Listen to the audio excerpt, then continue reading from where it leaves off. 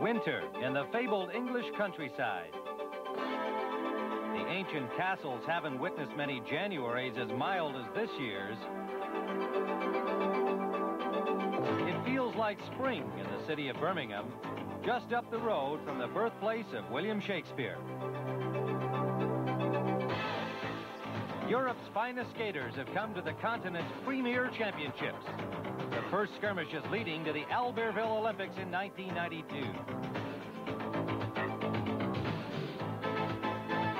Today, we'll bring you the comeback of Alexander Fadeev, the most dangerous man in skating, and the coming out party of a French girl who stole the show. We'll travel to Minnesota and meet Bill Koch for a look at the arduous road ahead for our Nordic ski team. Bring you the emotional and uplifting story of ski racer Tamara McKinney, who against all odds is at the top of her game.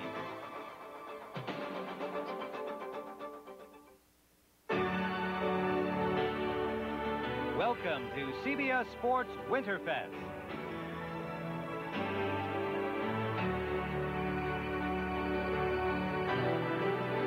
The historic English Midlands. We come to you today from the National Exhibition Center in Birmingham.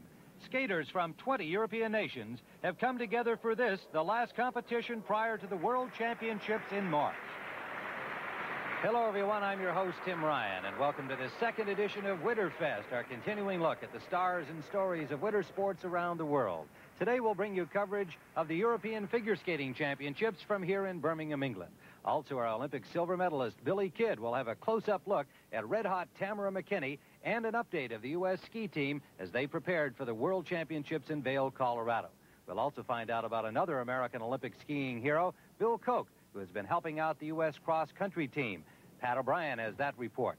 With me on the coverage of the European Figure Skating Championships is yet another Olympian, 1984 gold medalist Scott Hamilton. And Scott, it seems that every European championship that follows an Olympic Games sees some of the old familiar names, but also many new faces. That's right, Tim. After every Olympic Games, a new cycle begins. And with the retirement of every one of last year's world champions, all the titles are vacant, and now some of these younger skaters who've been living in the shadows of Katarina Witt and Bestemyanova and Bukin can go on and make their mark on their way to the Winter Olympics in Albertville in 1992. Well, first we're going to see the pairs competition, and even though the defending European and Olympic champions, Gordieva and Grinkov, are out because of an injury to uh, Gordieva, still, the Russians figured to dominate in this event. Well, Gordieva and Grinkov will be at the World Championships, but without them here, you really see the Soviet pair domination. The depth is incredible. In the United States, we focus in on the singles, men's and ladies, but in the Soviet Union, pair skating is their glamour sport. The Soviet national anthem gets more airtime at a pairs competition than any other music. Most recently, the event has been dominated by Ekaterina Gordieva and Sergei Grinkov. Before them, by world and Olympic champions Elena Valova and Oleg Vasilyev. And before them, legends like the Protopopovs and Rodnina and Zaitsev. If it seems like a dynasty, it is. And here in Birmingham, the Soviets won the title again. And oh yes, those are Soviets in the red, white, and blue. Larissa Selezneva and Oleg Makarov join the long list of champions.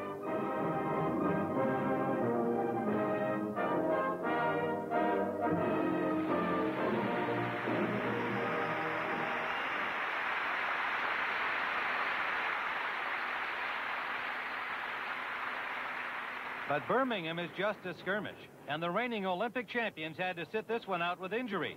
They'll be back for the Worlds, and they've got more than just one Soviet pair to worry about.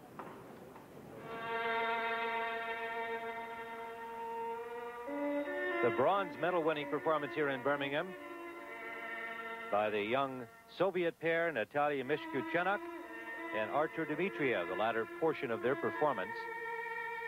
She is 18, he is 20. And they are very well regarded already, although somewhat still unknown. Well, this wasn't their best performance, but if you listen to the Soviet Union, they're going to tell you that this is the team they really look to to challenge their own Olympic gold medalist, Gordieva and Grinkov.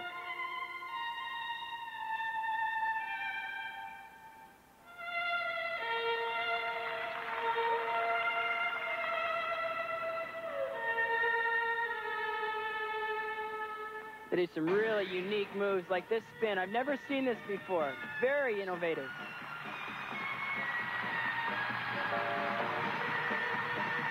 And another of the many changes evident in this area of glasnost in the Soviet Union, this piece of music is a Jewish folk dance. It would have been unheard of in figure skating in the Soviet Union in years past. Their coach, Tamara Moskvina, is very pleased at getting away with using it in this performance.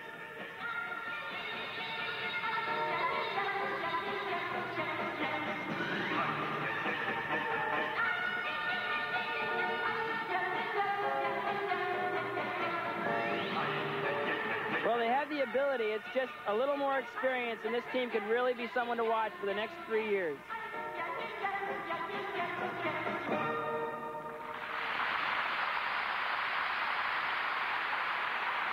Fourth a year ago, a bronze medal in this year's Europeans for Natalia Mishkutenok and Artur Dmitriev of the Soviet Union. Two more future stars of winter sport. Welcome back to Winterfest, and we'll have more of our European Figure Skating Championship from Birmingham, England. But right now, let's turn.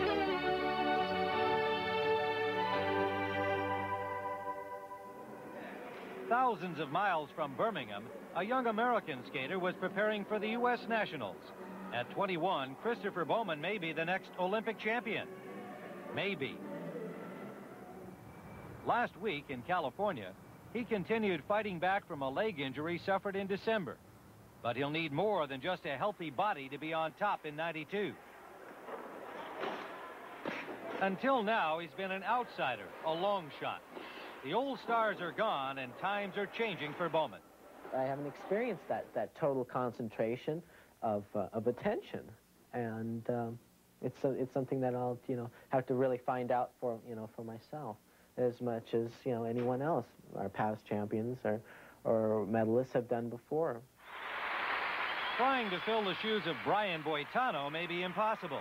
But like Bowman, Boitano was once an outsider who peaked at the right moment. The Brians are gone, however, their four-year rivalry only a memory. Of the old guard, only Soviet Alexander Fadeev remains, but for how long? These are the favorites in 92. The skaters have changed. Bowman, Browning, and Petrenko. Three names you'll be hearing for some time. It will be exciting to see what happens when one of us, you know, it reaches the top, because that's when the real, you know, competition will begin. Uh, every, like I said, no one is fighting for fifth place. Everyone's fighting for number one. So that guy on the top is going to have quite a ride. Of the three, Petrenko has had some early success. A bronze in the Olympic and World Championships. The young man from Odessa would have been favored in the Europeans, but reportedly skipped the event due to injury. And so Petrenko missed his opportunity to try to send his older rival, Alexander Fadeev, into retirement. So, Scott, the expected showdown for Soviet supremacy between the veteran Alexander Fadeev and the young contender Viktor Petrenko did not take place here in Birmingham. Well, veteran Fadeev is right. It's more like old man Fadeev, the way he's considered in the skating world anymore. You got to realize that I competed against this guy 10 years ago at an international competition in Tokyo. He's been around for an awfully long time. And Petrenko, with his performances that he turned in last year at the Olympics and the World Championships, taking a bronze in both, everybody pretty much counted Fadeev out for life. But Petrenko's not here. The official reason was given as injury, but I think it's pretty well known. The Soviets sometimes shuffle their skaters to give the younger skaters more international experience, and he wasn't here. Fadeev was, and it gave Fadeev a wonderful opportunity to show everybody in the world that he still got it. As it turned out, his only major competition came from the Pole, Gregors Filipowski, the young man who lives and trains in Rochester, Minnesota. However, the veteran Fadeev turned in a stunning performance in his free program. Here's how we call it. Next to skate, Alexander Fadeev from the Soviet Union. Former world champion Alexander Fadeev of the Soviet Union, leading coming into the free skating program, but after the performance by Gregors Filipowski, it looks like Fadeev needs a clean performance here, Scott, in order to win this championship. And he has not had a clean performance in many, many years. He's really had a rough time of it. But he's got a new look, and it looks like a new attitude towards his skating. First jump, very fragile jump for him, a triple axel. Beautiful, he landed Triple toe loop. Solid as they go.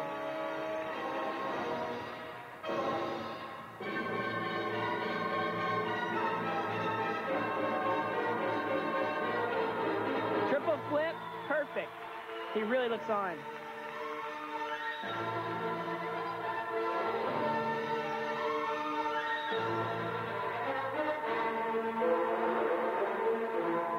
And another triple, a triple lutz. I have never seen him look this solid.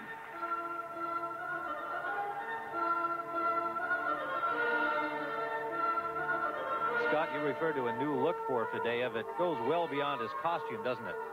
Well, in the past, his programs were so difficult and complicated that they were impossible to pull off consistently. Now he's taking a much more basic approach to his skating, and he's setting everything up so that he can be a lot more consistent.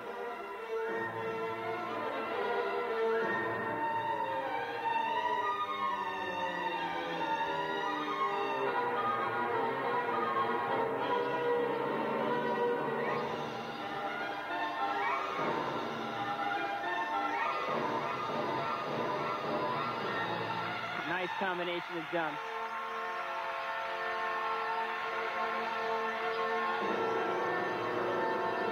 Part of Fadeev's new look includes a new coach this year and a new son, his first, Vladimir, born last summer.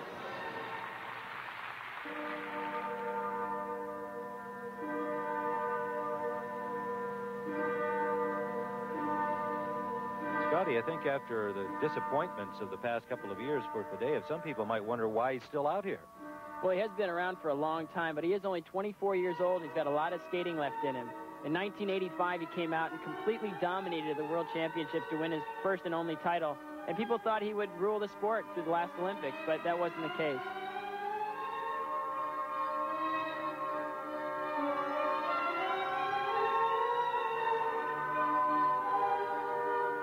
Next important jump, a triple loop jump. Ah, perfectly landed. If he keeps this up, he could dominate through the next Olympics.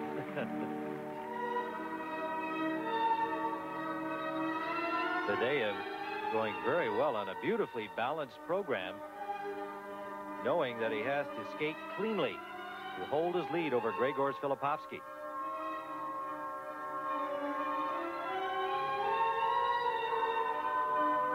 He really doesn't need to do any more. I'm almost to the point now where it says, don't jump anymore. Just finish the routine. It was so brilliant off the beginning. Another triple toe loop. This is purely amazing.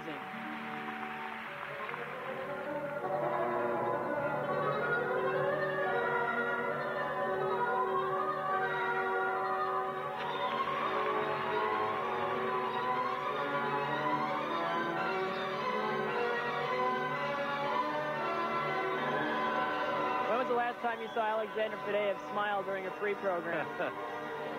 that applause should be for himself.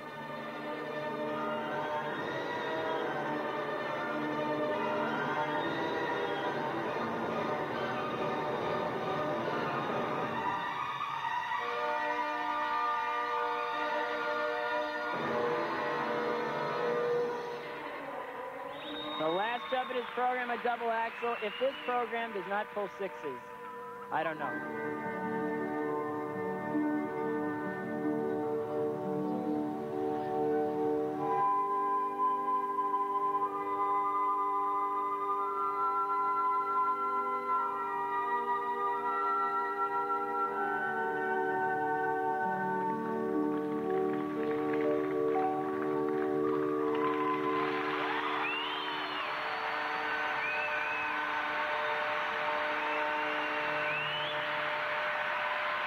Alexander Fadeev with a new spirit, a new style, and I think right there, a sense of satisfaction at his own brilliant performance here in Birmingham. Even Gregor Filipowski enthused about that program of Fadeev.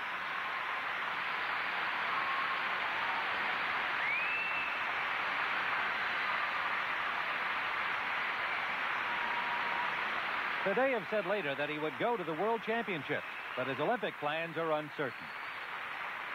The Soviet demolished the field, with Filipowski winning the silver and Petr Barna of Czechoslovakia taking the bronze. Scott spoke with Fadeev after the medal ceremony. What do you think about your chances for the World Championship? Oh, I wish I wish skate like like here.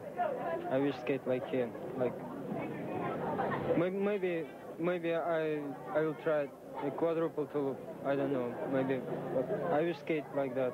I was watching you, and, and after the first minute, I thought, stop, don't jump anymore. This is too perfect. Did it feel that good when you're out there? yeah. I feel the same feeling. One of the biggest events in the ice dance at Birmingham took place off the ice. An unusual press conference featuring the electrifying couple of Paul and Isabelle Duchesne. Isabelle was recovering from her second knee operation, and while they are training for the Worlds, they could not compete here. Last year, their revolutionary free dance captivated a worldwide audience, but not the judges. Choreographed by Christopher Dean, the program stretched the rules to the limit.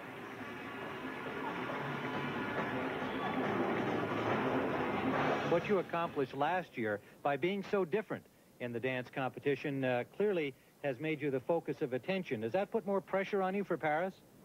Puts a little bit of pressure, of course. But what we really appreciate is that the people haven't forgotten that all the work we put in last year in trying to be a little bit more innovative. Were you disappointed last year that despite the fact you were innovative and the public seemed to respond, that the judges did not? Uh, no, absolutely not. Uh, the people um, count more than the judges, and we, we try to follow their advice. If they like it, uh, we keep going in the same way. Which is against the grain. Traditionalists like Klimova and Ponomarenko were again the judges' favorites in Birmingham.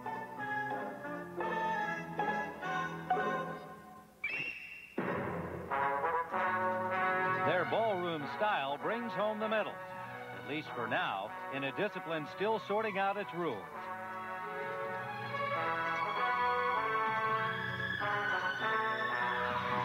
Klimova and Ponomarenko have been Mr. and Mrs. Second Place for four years, behind the flamboyant team of Natalia Bestemyanova and Andrei Bukin.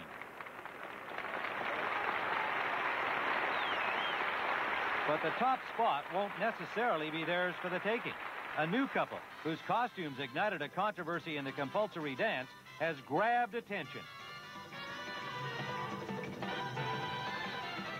As usual, the dance leaderboard was painted with hammers and sickles, but it was the second place couple who made the biggest impression.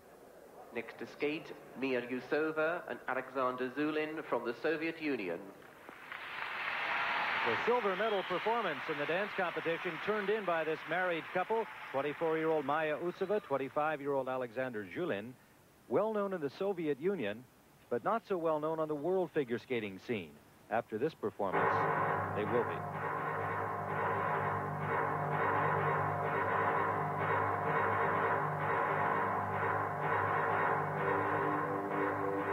Music is from The Planets by Holst.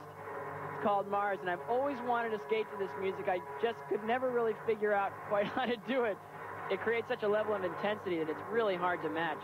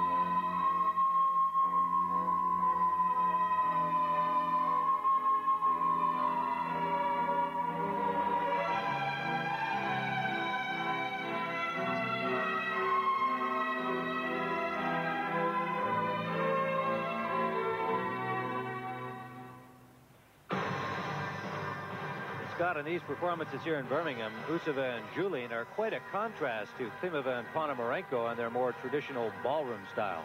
And competitive as well, and I think they'll continue to be competitive all the way through to the next Olympics.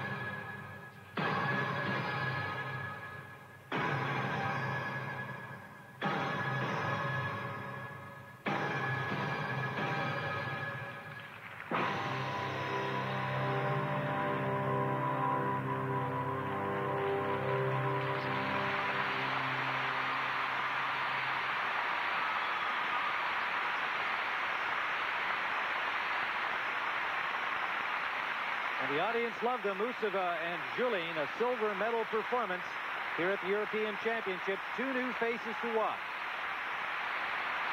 And this is a team that's turned a lot of heads throughout the competition. They said, we're here, we're very competitive, and we will be all the way to 1992 in Albertville.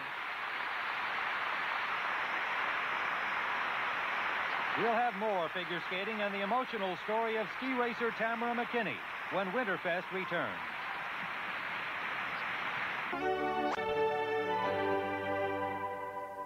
Well, Scott, now let's take a look at the ladies' competition. And uh, this was the first European Championship since 1979 without the magical presence of the retired Katarina Witt. And she is sorely missed. The ladies' championship here was not very strong. Katarina's heir apparent, Claudia Leistner of West Germany, well, she's not very flamboyant. She's technically strong, but tends to play it safe. Yet she's ranked number one in the world right now. But we have seen a few new faces that could really stir things up in the next few years. Sounds like then the World Championship just a few weeks ahead should be wide open in ladies singles. And it should be very exciting. Midori Ito of Japan and from the United States, the 1987 United States national champion Jill Trenary. Well, she's ranked number two in the world right now, and this could very well be her year. Trenary was a surprising upset winner of the U.S. title two years ago. She has yet to put it all together in a world competition, but the field is wide open.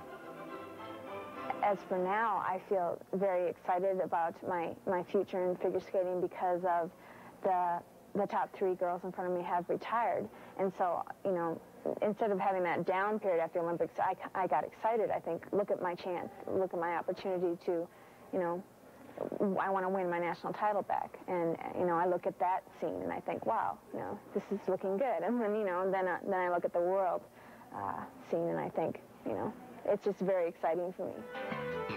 The three dominant ladies of last year are gone. Debbie's back in school, and Katarina and Elizabeth have joined shows. When you look ahead, the picture is cloudy. Jill Trenary, Midori Ito of Japan, and a lot of unknowns. And one lady making heads turn is Kristi Yamaguchi of California.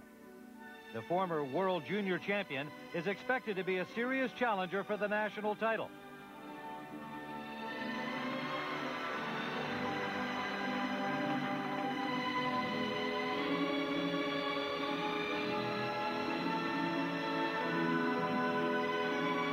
But youngsters like Kristi need experience to go with ability, and Jill Trenary has plenty of both it's almost hard for me to believe that I am the one now that is the most, you know, experienced, kind of the veteran. Because I never, you know, I don't really feel like it. I still feel like I have so much to do and so much to accomplish. Um, I think that's a good feeling to have. If I felt like I was getting old and, you know, I've been around here for so long, you know, that wouldn't be good. Um, my attitude's still the same. You know, I, I'm going to go out there and do my best and compete against myself. I, I feel that if I do the program that I can do, which I feel is a difficult one, I, you know, I'm, I'm going to take it. I'm going to win.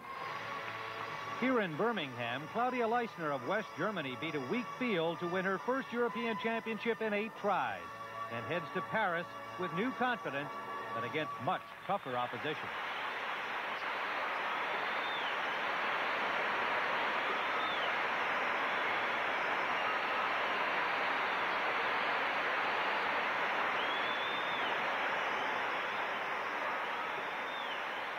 So while the veteran Claudia Leistner won the gold here in the Europeans, it was a 15-year-old newcomer, Surya Bonaly, who stole the show.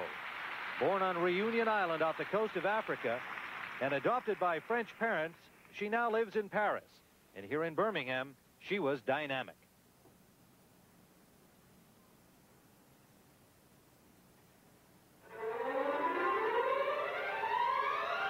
Well, she may have a long way to go on presentation, but technically she was unbelievable. She did more triples in this competition than any other skater, seven in all, and she opened with the most difficult combination in the competition, a triple lutz into triple toe loop. Not clean, but after a slow landing in the triple lutz, I don't know if anybody else would have tried the triple toe loop. Having just turned 15, she's the youngest competitor in this ladies' competition, and what a story. She started skating at age three after coming to France, learned to skate in Nice, and has since moved to Paris with her new coach. And she's had a remarkable career in such a very short time, third in the recent World Championship Junior competition.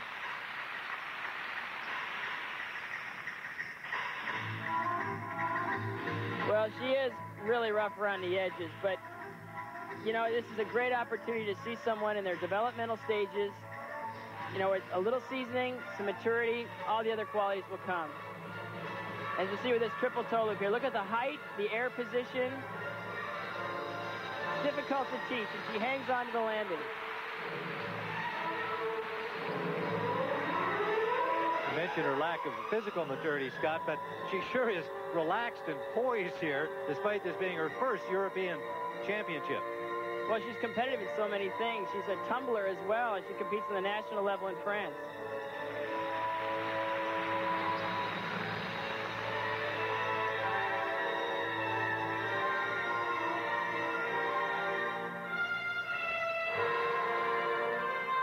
Well, her coach told Surya just to go out there and have fun, be relaxed, and go for everything, and that's what she's doing. This is a great learning experience for her, too. It can be very intimidating, a competition at this level, but you know, our coach said that if she had a good warm-up, he was going to have her do a backflip in it just to show that she could do it.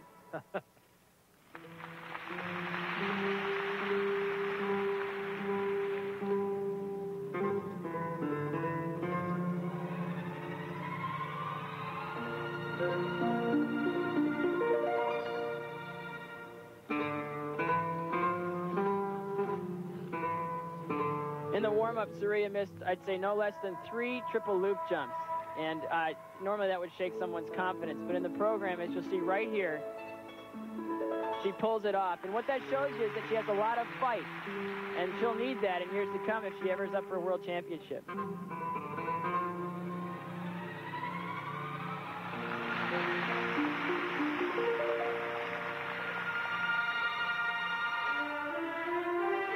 France hasn't had a ladies world champion since 1952. French fans who uh, see this performance have a right to be excited about the possibility of a champion in the near future.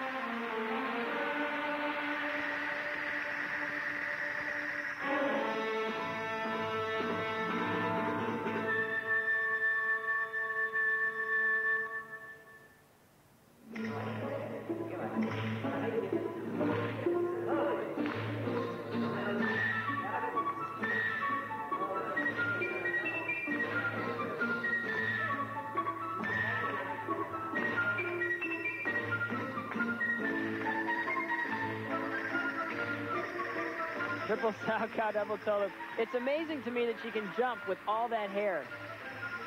She's never had it cut since birth. And when you get close, you can see it's all wound up. It's, it's, I think it would be heavy. Doesn't seem to bother her at all.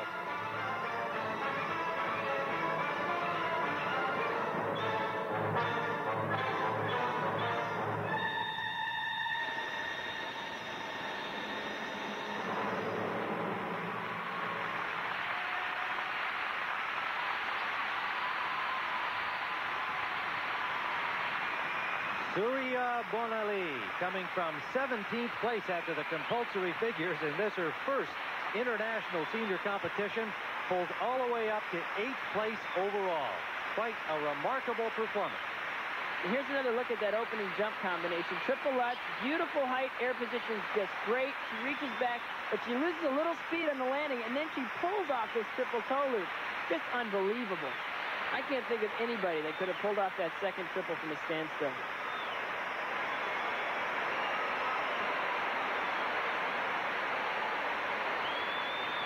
Well, the crowd certainly fell in love with 15-year-old Surya Bonaly, and she seems to have the knack down already of appreciating their appreciation. Claudia Leistner, the winner, but certainly the girl who won the hearts, Surya Bonaly, and Scott spoke with her after her performance. Four years from now, the Olympic Games will be in Albertville, France. Tell me how you will feel about skating there. Yes, I want to go back in Albertville because in in, in French, and I uh, want uh, first. Is it, yes, uh, this is possible. You've been skating since you were three years old, and through your skating, who were the people you looked up to most? Debbie Thomas and uh, Midori Ito and Elizabeth Manley and you. Oh. so nice, but I was retired from skating before you started competing. How do you know me? In television. Good luck. Thank you.